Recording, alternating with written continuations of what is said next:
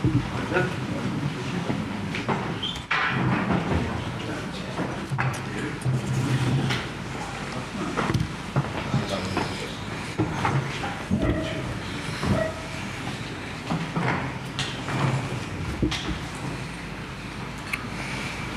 thank you everyone. So all of this will be live. If you'd like to ask a question, please raise your hands and we'll kick off with Grow.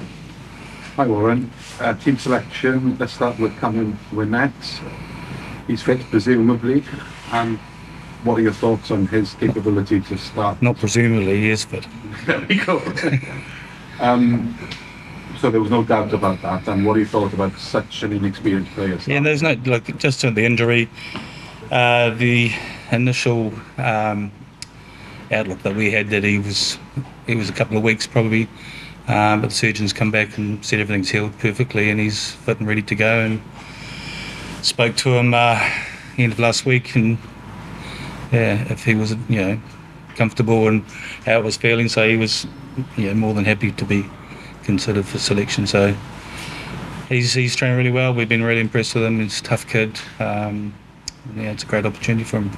Tell us a bit about his character to be able to it. Well, there's no pressure on him. Um, from from our point of view, it's his first cap, so go out there and enjoy the occasion and just go and do what he's been doing uh, for Cardiff. We've been impressed with his form with them. He's he's confident there. He runs some good lines, got some lovely hands, and he's a young player with a, a big future ahead of him. George North and Gav Thomas. Uh, both of them just haven't trained enough. Really, they didn't train, take part in training last week, and have uh, I've missed the start of this week. So you know, we haven't considered them um, basically because uh, the fact that we've had other players that have been here for training and um, just felt they were a little bit underdone at this stage. Looking at that front row, how much faith do you have in them being able to cope, not just in this game but in the championship? Well, this, the way they've trained and prepared this week, we've been really happy. They scrummage well.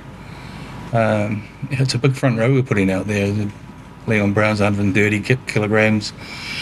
Corey Domachowski's 125. Uh, Ryan Elias 115. So um, we've been happy with the way they've uh, trained and prepared. So uh, really, you know, really comfortable and confident they'll do well.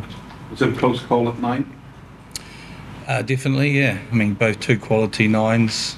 Um, Tomos has been playing exceptionally well um, in club rugby. Uh, Gareth, um, you know, gets a nod at this stage, but you know, both of them putting a lot of comp- uh, a lot of um, heat in each other, and it was a you know definitely a tough call. How close is Mason Grady to being a starter? He's just got to earn his earn his spot at the moment. Uh, he's been playing a lot of rugby on the wing, um, so he potentially covers us there in that wing and, and centre position. About the roof, am I right in saying you you'd want yeah you wanted the roof closed?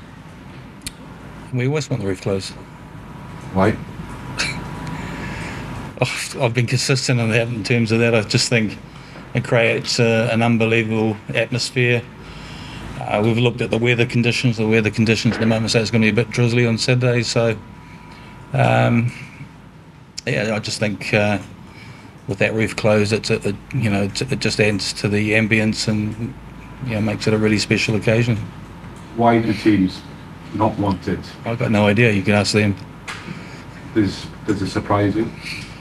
No, I mean it's the, the thing about the roof is that I've been consistent always in saying, um, you know, both teams have to agree for the roof to be closed, and I kind of look at it and say, you know, it's our it's our stadium, and we should be able to decide what happens whether the roof's open or closed. So um, that's not my decision to be made. It's it's part of the part of the agreement, but um, yeah, it's not something.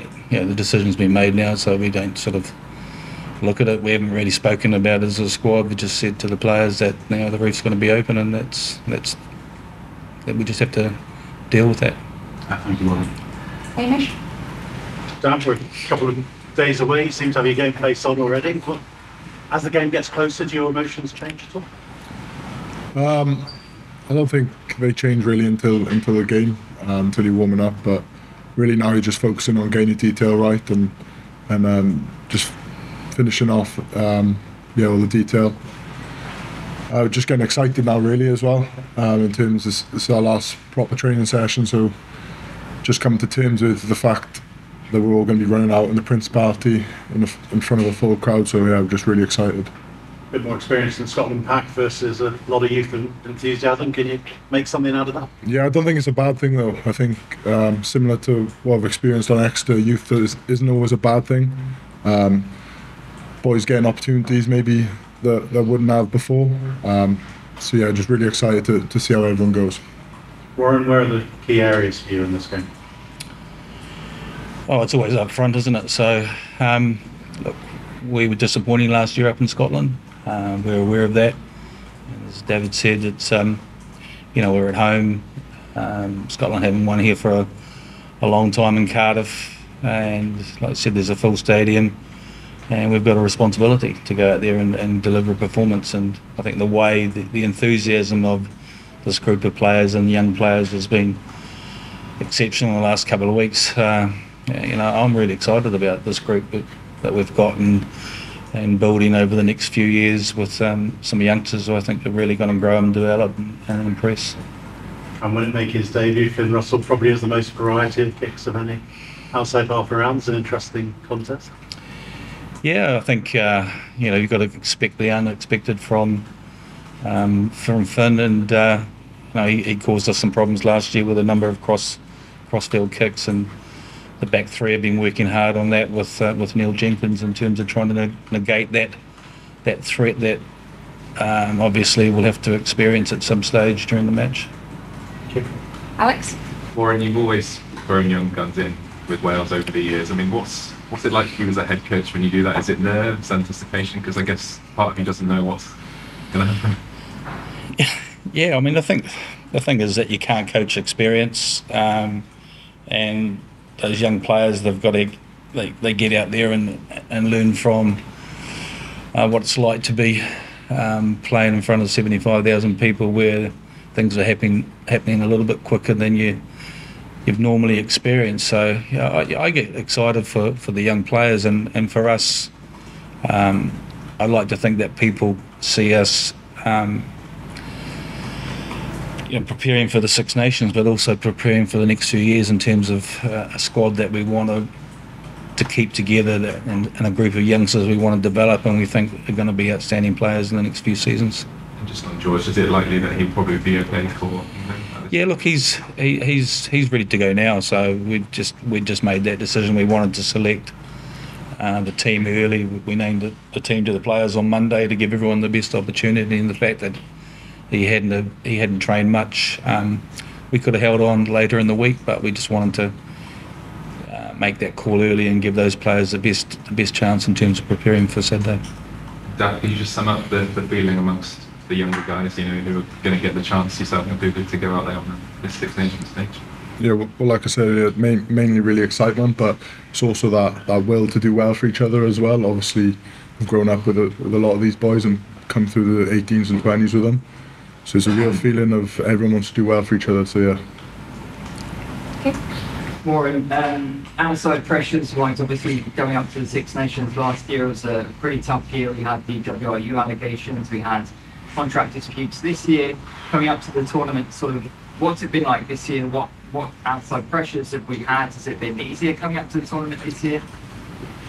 well, we haven't had those things happening um, so much off the field. Well, there's been none of those distractions. So, um, yeah, it has been easier. It's it's been, I think, um, it's probably bu- building a core of the squad that were involved in the World Cup.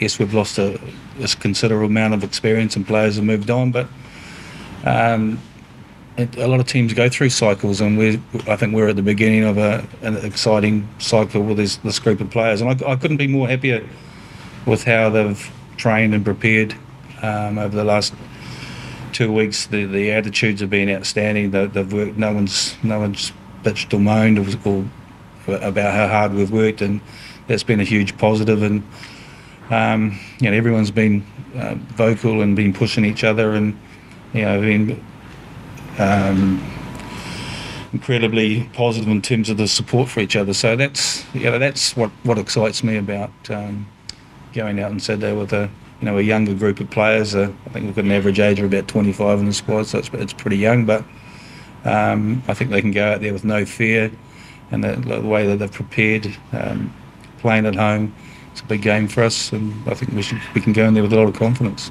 And you've learned coming forward as well, I suppose it's, it's put that kind of thing, any outside pressures to the back of their mind and just focus on the game.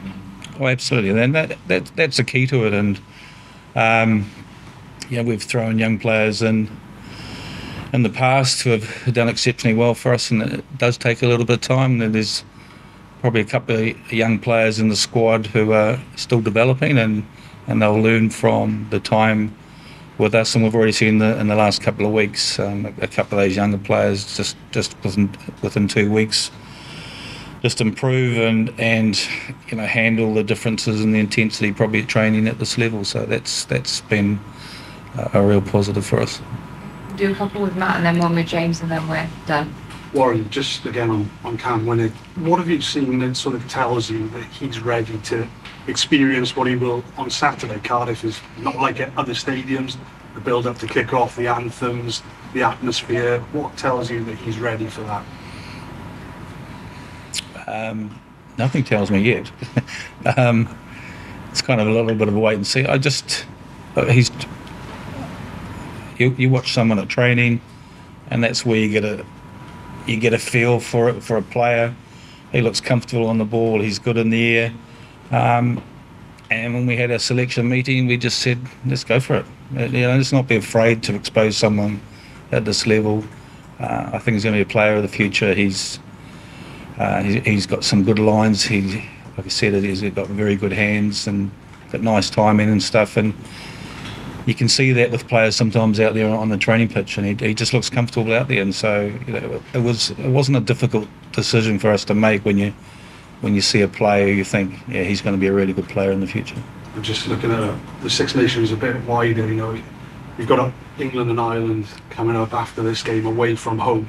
Does that make it more important to get a result on Saturday? Yeah, it's always the Six Nations is always about momentum. It's always about that first game and the fact that we are at home against uh, Scotland. Like I said, there's um, I say there's always pressure because you know it's it's about it's a results business and it's about winning matches and you get that, that first game under your belt and get a win and then you get some confidence and momentum and I said the next two games become really important, and then um, you know, the last two games at home. So, you know, I think we're pretty well aware, and I think the players are well aware, and they've prepared well, they've trained well, the attitude's been out, outstanding. So, um, you know, we're under no illusions. It, it's you know, it's going to be a tough game for us, but I said we can go in there and be excited about this young group of players who are.